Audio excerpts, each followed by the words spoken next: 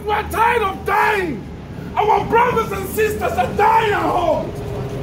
People are crying, no food to eat. And when we travel and come here, they deport us right back home. It does not make sense. We are not animals. We are human beings for crying out loud. We need help back at home. This country is our mother country. You cannot just leave us to die by ourselves. Save our country. Save Southern Cameroon.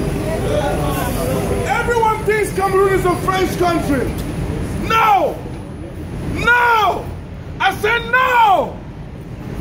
Save English Cameroon! Save English Cameroon! Save English Cameroon! Save English Cameroon! Save English Cameroon! Save English Cameroon! Save English Cameroon! Save English Cameroon!